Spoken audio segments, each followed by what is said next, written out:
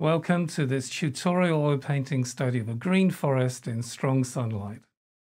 Now I'm working from a photograph I took some time ago in the New Forest and I really like the dappled sunlight effect in the foreground. I feel it adds an interest and depth to the composition.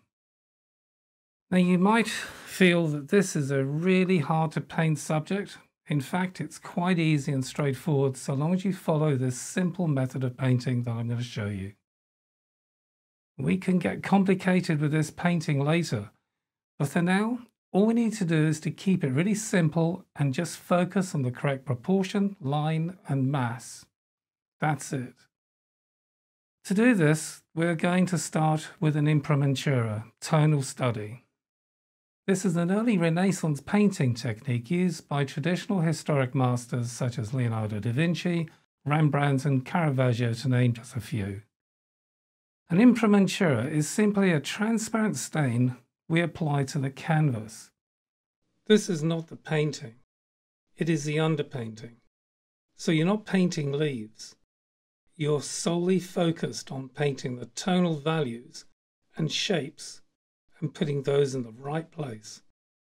Remember the phrase proportion, line, and mass. Notice how I put this tree in. I'm not at all concerned with value at this stage. I'm only concerned with proportion, getting the tree in the right location. My second priority is simply getting the shape correct the image is really beginning to take shape. What I want to do now is to complicate these light and dark areas into smaller and more complex shapes. When doing this, you might find it helpful if you squint. When you do this, it simplifies the image for you into fewer values of tone. It just might help you.